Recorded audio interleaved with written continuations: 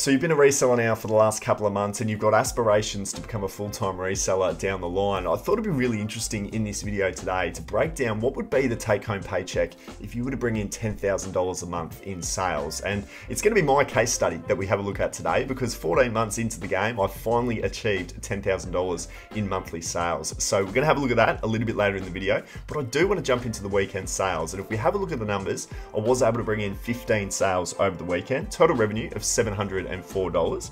When you take out the fees, the postage, and the cost of goods, you'll see there that I'm paying $375 in profit over the weekend. So a little bit less than normal, but I've still got some really great items that have sold that can hopefully help you out there with your own reselling business. So let's dive into the first category, the DVDs.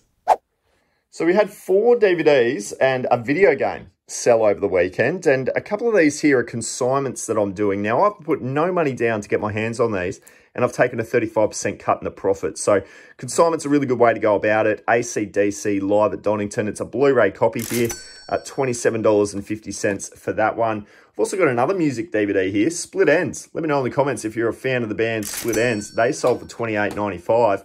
Uh, V8 Supercars Race Driver. I picked this up in a trip to the thrift on Thursday. Just paid the two bucks and it's gone on sale for twenty nine ninety nine. Have also sold V8 Supercars 3 that I bought that day as well. So that's a real bolo PC game to be looking out for. And then this one as well. Who would have thought? Death Race 2000. $44.50 for this one. We've got an old Sylvester Stallone DVD here. So definitely one to add to the bolo list, guys. That was an absolute beauty. And then uh, fantastic Mr. Fox, there he is there. So George Clooney, only a $10 sale, but still another one out the door. So not too bad there, guys. I've definitely slowed up in my DVD sales, but still, to get five over the weekend, not too bad. Now guys, I show you a lot of sporting gear on these videos, but trust me, it's the only thing that seems to sell when it comes to clothing for me. So I've got another couple for you in this video. The first one is a Toronto Raptors long sleeve training top. Now, genuine merchandise, we've got the Adidas branding there, the Ultimate Tee. I bought this in a garage sale for a dollar just a dollar for this thing. And as soon as I saw the Toronto Raptors NBA, I had to buy it. So quick turnaround on this one, guys. A $27.50 sale price. I've made myself a good $15 profit off the purchase price being just a dollar. That's the trick. You bought this in an op shop for eight bucks. You probably don't make enough profit. You find it at a garage sale for a dollar. It becomes a worthwhile exercise. So sporting gear, NBA, Toronto Raptors. Thanks very much. And if we stick with the theme of US-based sporting merchandise, I've got this one here as well. We've got the NFL jersey here, the Washington Redskins, Darrell Green, number 28. Just a ripping find in a flea market, guys. I paid $10 for this thing, and I've been able to go on to sell it for 90 bucks on eBay. So a pretty quick sell-through rate. I think it was a little over four to five weeks, something like that to get this one out the door. So not too bad. Um, a really nice jersey, and I did hold out for top dollar on this one. Wanted to get about 100 bucks. Got a lot of offers for about 50 or 60, kept saying no, and then got a turnaround for 90. So definitely hold out for your top price if you know what you have your hands on. I was very happy to get this one done.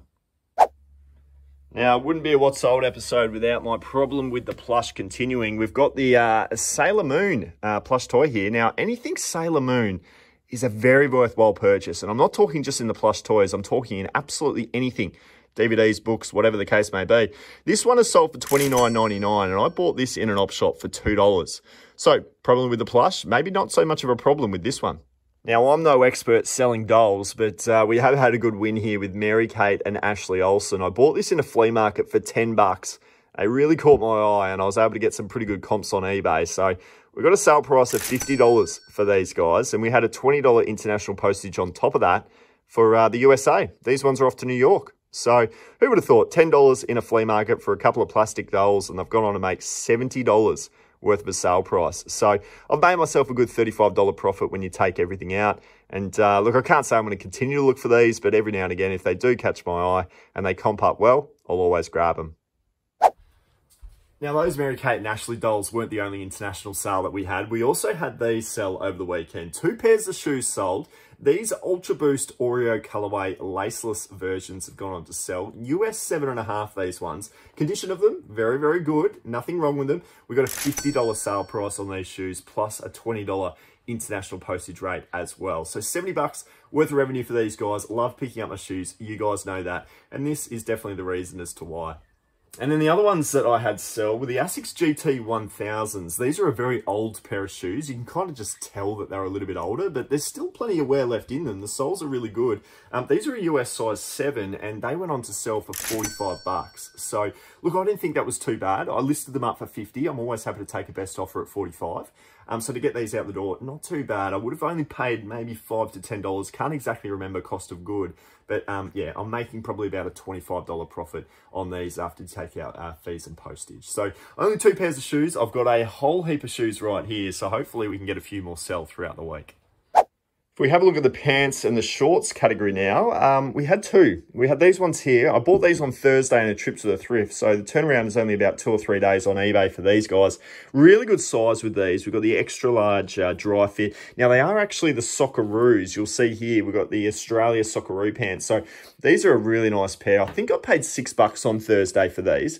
Uh, I got a $37 sale price. So $31 after uh, cost of good, take out some postage, 25 and then you take out some fees, maybe about 20 bucks worth of a profit on those in the space of just a couple of days. Awesome stuff there. Now, these guys here, I would probably not be picking up with my level of reselling experience uh, today, but uh, we had these bought about a year ago.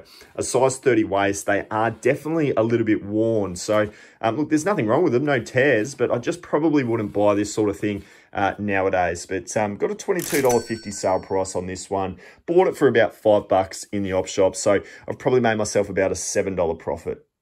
Now, for those playing at home, a few months back, you may have remembered that I bought some shoes from the brand Ultra. He was a guy that used to sell all these shoes at all the different running events, but uh, he was now out of the game, and I was more than happy to pick up his shoes, considering they were in brand new condition, and I was getting them at $15 a piece. Well, already I've sold half of those Ultra running shoes, and I've made myself $500 in clean profit. When you take everything out of it, that is currently the scenario. I've basically doubled my money.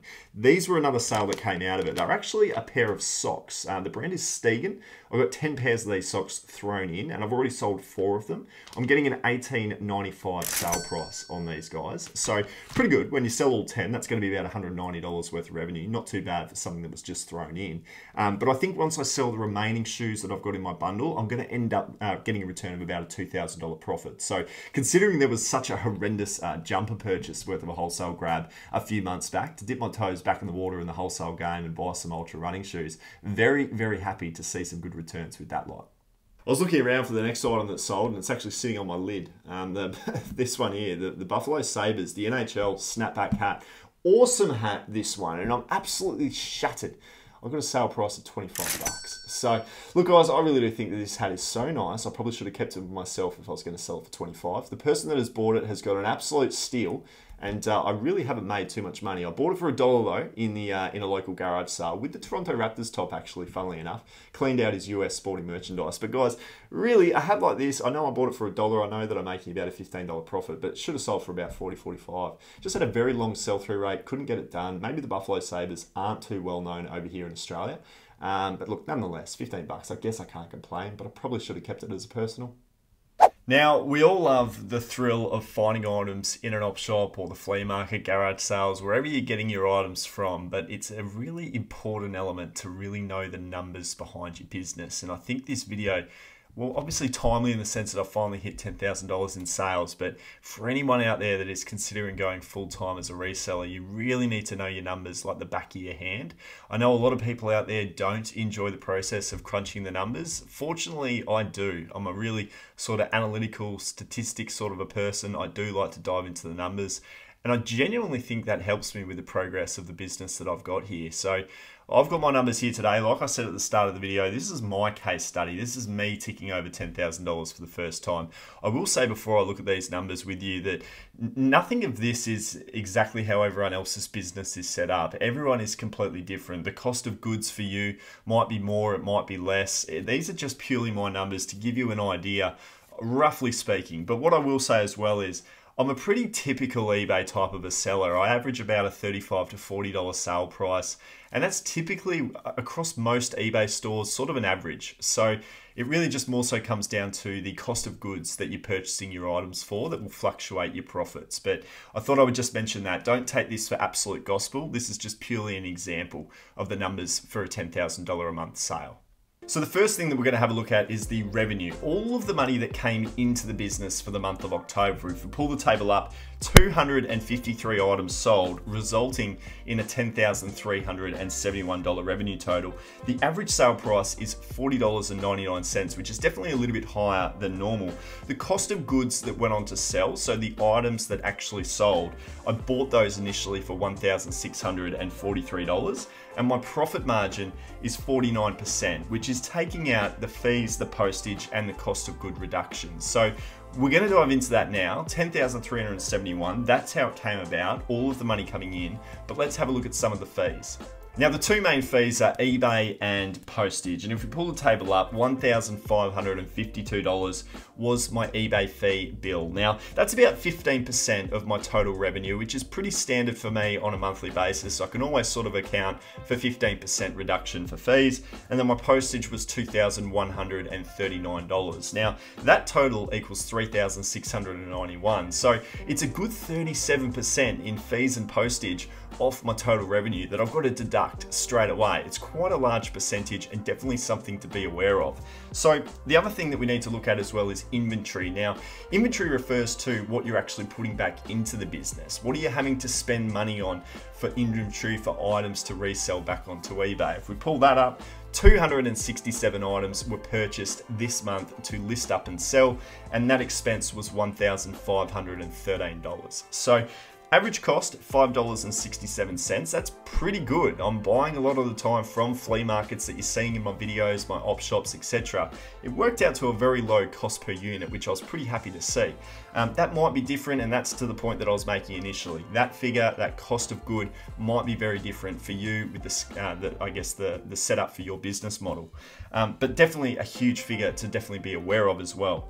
So that's a really quick snapshot of the money in and then the money out. We do need to look at all of those reductions to work out what is actually left over. What is the positive cash flow that you can deem to be a paycheck for yourself as an eBay seller? If we pull that table up, you'll see that we're working off the 10,300. We've got the cost of goods of $1,643. We've got the fees, accumulative there of $3,691. And then the other thing that we need to talk about is GST. As an eBay seller, if you're basically getting to the point where you're earning $75,000 in total revenue, you will need to be registered and paying a 10% GST charge. Now, for me, while I'm not quite yet at GST level, I know that this financial year that we are currently in, I will be needing to register and I will be needing to pay GST for the earnings of this year. I'm forecast to do about $110,000 for this financial year. So therefore, at any point in time over the next few weeks, I need to be registering, paying and saving for GST charges. So 10% of the overall revenue for the month of October means that I need to put aside $1,037 for GST for this month alone. A huge figure at 10%. Paycheck, when you pull all that out, GST included, you're left with 3,998 bucks, basically $4,000. So you started with 10,000 and all you've got left is 4,000. 60% has been cut out. Now you've got the tax there. Now I'll do a tax calculator on the internet to work out how much I should be saving for tax time. And that for this month is $585. You could do a little bit more than that. You could do a little bit less, but for me about 15 to 20% is typically what I like to put away for, for tax time purposes. So I'm left with a take home paycheck there of $3,413. So guys, when you're starting with a, $10,000 uh, revenue and you're bringing it down to basically in your hand of $3,500, I think a lot of people out there, if you're beginning or if you're part-time reselling, you're probably not quite aware of how much is actually needing to be taken out. So for me at $4,000 a month, you do that over the course of a year, I'm sitting on about $48,000 from an eBay earnings potential. So what do you earn as an eBay seller? Well, for me, $48,000 a year and I'm a full-time seller, putting a lot of hours into it. You've really got to be passionate about it because you aren't making a huge return, even with $120,000 a year, six-figure eBay store. It might sound great, but you're actually only taking home about 48,000 in my case scenario. I do need to stress this is just my case scenario. Those numbers will definitely fluctuate for you out there, but I think it's a really important thing to look at and be aware of that if you are aspiring to quit your job, jump into something like selling on eBay, you do need to be aware that you need to be really selling a quite a high volume and quite a high number of revenue to be able to take home a paycheck that's going to help you continue on living on a, on a week to week, a month to month basis. Um, fortunately, I do have the benefit as well of YouTube, and that is bringing in about 20% of that figure of $4,000. So I'm getting about $800 to $1,000 a month coming in with YouTube ad revenue through doing these sorts of videos every single week. And I knew that right from the very beginning that I would need to have multiple uh, streams of revenue to be able to sustain a full-time income because these sales at any point in time on eBay could slip away. So I always like to have a safety net of some other form of income. And right now that's certainly being supplied through the YouTube channel. So that's really a quick snapshot for me. And um, I really wanted to hopefully put that into context for you today to give you some awareness of some goals and some levels and, and some figures that you kind of need to be trying to hit and sort of grow slowly towards before you can kind of make that big leap to being a full-time reseller. Let me know in the comments below, do you want to be a full-time reseller? Is that a goal for you? Do these numbers scare you? Do they motivate you? Do you think they're easy to achieve based on where you're sitting at right now? And what are some of the things that you think you're battling with before you can actually make the leap to becoming a full-time reseller if that is your goal? I'd love to get the conversation started in the comments below. Really do appreciate you being here and sifting through all these numbers. If you're still here now and you haven't got a headache, um, I do appreciate you tuning in. It is certainly great to have you here. Look forward to the next episode, Trip to the Thrift on Thursday. Should be a fun one, a little bit more lighthearted. We'll see you soon.